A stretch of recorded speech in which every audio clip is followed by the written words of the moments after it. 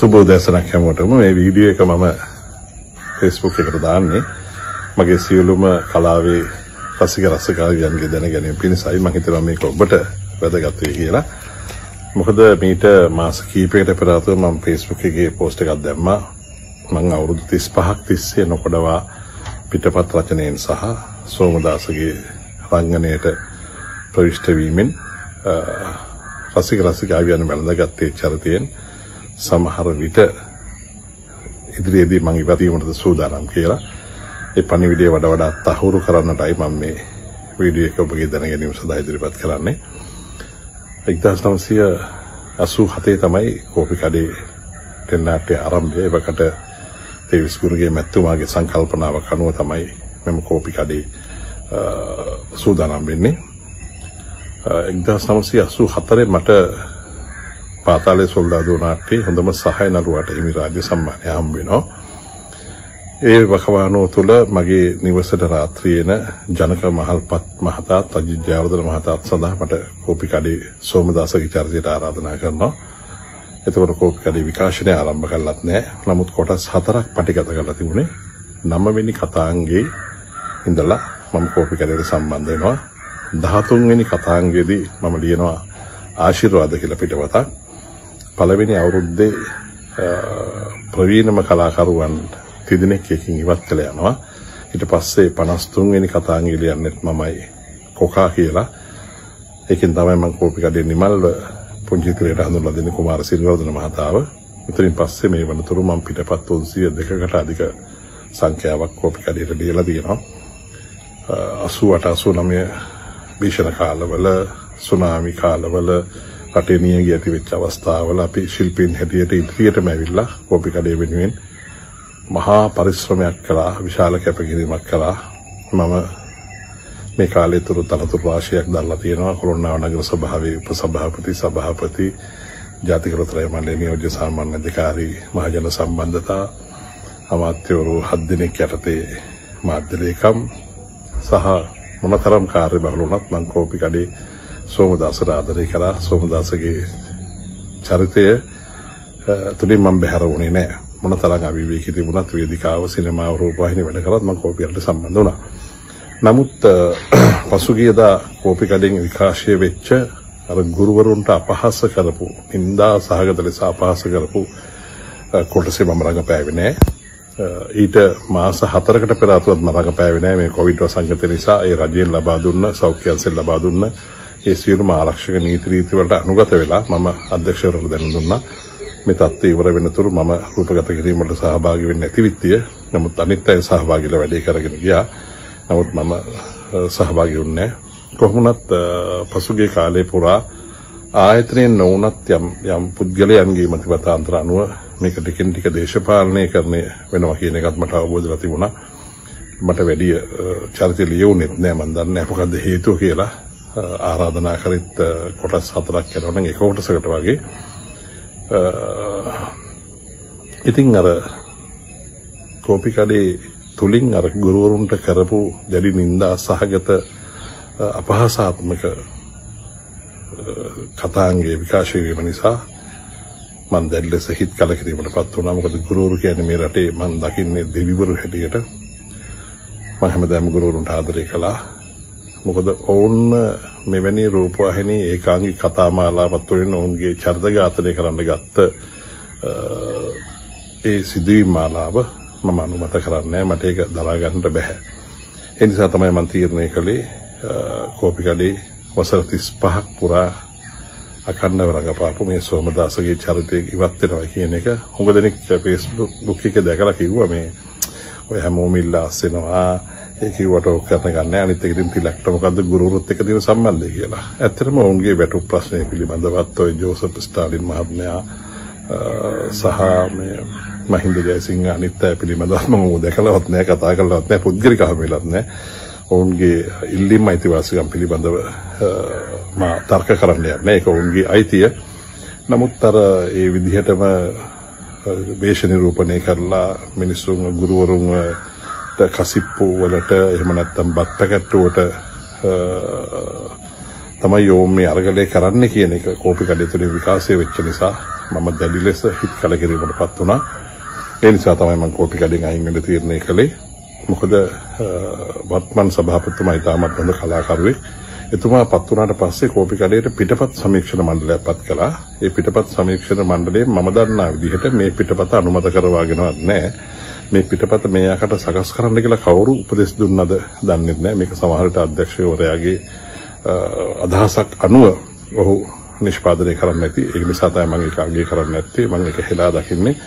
මොකද හැම පිටපතක්ම පිටපත් මණ්ඩලයෙන් අනුමත කරාට පස්සේ තමයි රූපගත කිරීම සිද්ධ වෙන්නේ. දැන්ට මගේ අලුත් පිටපත් දෙකක් තියෙන උත්තමාචාර කියලා.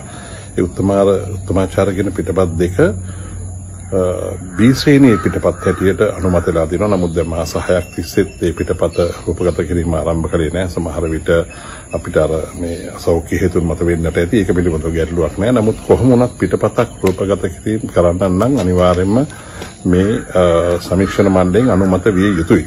ඒ නිසා මම විශේෂයෙන්ම මේක ජනමාධ්‍ය අමාත්‍යතුමාගෙනුත් අපිට ඉතවත් ඉතාමත්ම කලාකරුවන්ට ආදරය කරන ජනමාධ්‍ය අමාත්‍යවරයෙක් ඉන්නේ වත්මන් සභාපතිතුමාගෙනුත් මම ඉල්ලීමක් කරනවා. මේ පිටපත කොහොමද මේක රූපගත කරේ කියන එක පිළිබඳව විමර්ශනයක් ආරම්භ කරන්න කියලා. මොකද ඒක අනාගතයේදීත් කෝපි කඩේ කරගෙන යාමේදී තාමත්ම වැදගත් වේ ශිල්පීන්ට වගේම ආයතනයට.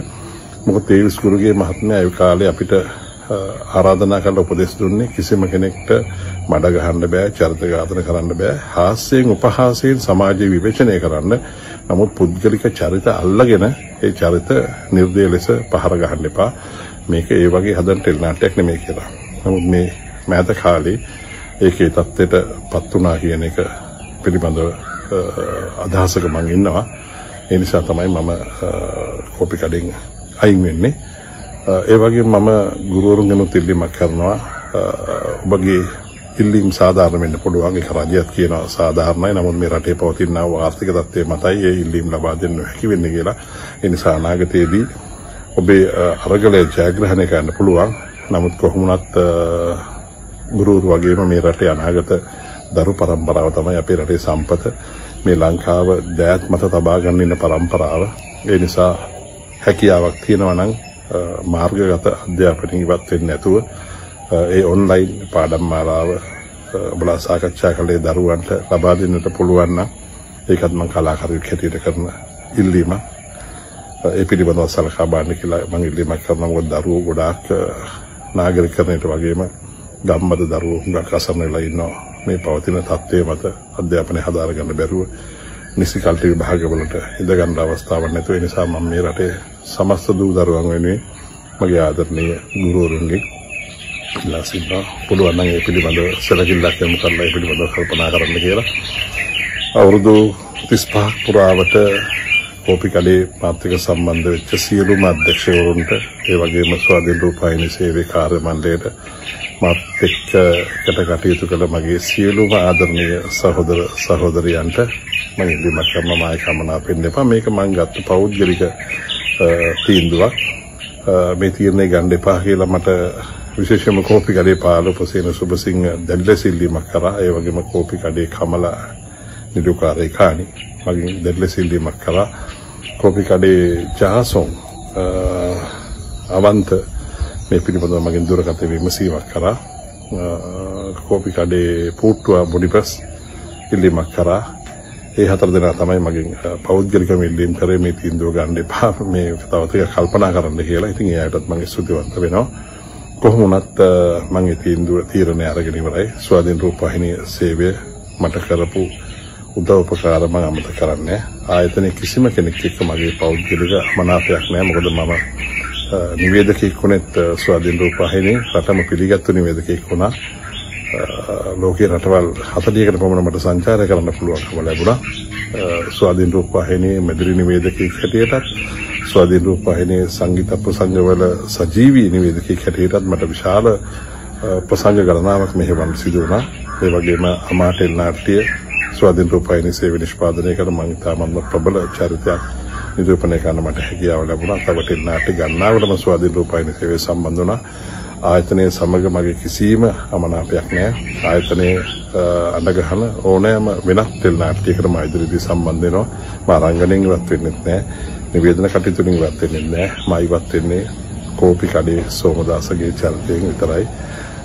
මෙතෙක් කල් මට ඔබ ලබා දුන්නු සහයෝගයට මම දැන් ආචාර කරලා ඔබට ස්තුතිය පළ කරනවා සෝමදාස වගේ කරාට අයුක්තිය සාධාරණය වෙනුවෙන් පෙනී සිටපු සෝමදාසගේ චරිතයට වටිනාකමක් ලබා දුන්නට ඉදිරියේදී අපි වෙනත් වෙනට්ටලින් හම්බෙමු නමුත් මේ මොහොතේ මම ඉල්ලීමක් කරනවා සියලුම ශිල්පීන්ගෙනුත් ඉදිරියේදී හෝ මෙවැනි පිටපතක් රූපගත කිරීමට සූදානම් වුණොත් නැගී සිටින්න විරුද්ධ වෙන්න සමාජයේ හොඳ දෙයකට සහයෝගය ලබා දෙන්න. නමුත් එක එක්කෙනාගේ පටු දේශපාලන අරමුණු ඉෂ්ට කිරීම සඳහා ඔබගේ ආත්මය සහ ඔබ රඟපාන නාට්‍ය ඝාතනය වෙන්න ඉඩ තියන්න එපා.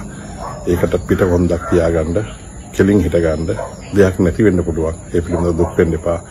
ඒ නැති වෙන දේ කවදා හරි ලැබෙයි. නමුත් අයුක්තිය අසාධාරණීය වෙනුවෙන් එදා සෝමදාස ගමේ නැගී සිටියා වගේම මගේ පුරුද්දක් තමයි ශිල්පීන් වෙනුවෙන් මම ශිල්පීන්ගේ අයිතිවාසිකම් දිනා ගන්න කතා කරපු වාර අනන්තය අප්‍රමාණයි හිටපු සභාපතිවරුන් සමග ඒ නිසා ඒ තුළ ඒ ශක්තිය ඔබ තුළ තියාගන්න කියලා මම ඉල්ලීමක් කරනවා. මට සහයෝගය දුන්න හැමෝටම මම ස්තුතිවන්ත වෙනවා. කොප්කඩේ සෝමදාසගේ චරිතයෙන් සහ ඒ ඔබ දකින රූපරාම තුළින් ඉදිරියට මම දකින්න ලැබෙන එකක් නෑ. ඒ තුළින් මම ඉවත් වෙනවා. මේ පණිවිඩය පුළුවන් නම් හැමෝටම ෂෙයා කරන්න. මගේ විදේශ මිතුරු මිතුරුන් තියෙන සෑහෙන ප්‍රමාණයක්. ඒ වගේම ගුරුවරුන්ට හැමදාමත් ගරු කරන්න ආචාර කරන්න ඔවුන් ඕනම දෙයක් කරන්න මේ රටේ වෛද්‍යවරු වගේම ආරක්ෂක අංශය අය වගේම ගුරුවරු කරන්නව මෙහෙවර බාල්දු කරන්න එපා. තක්සේරු කරන්න එපා.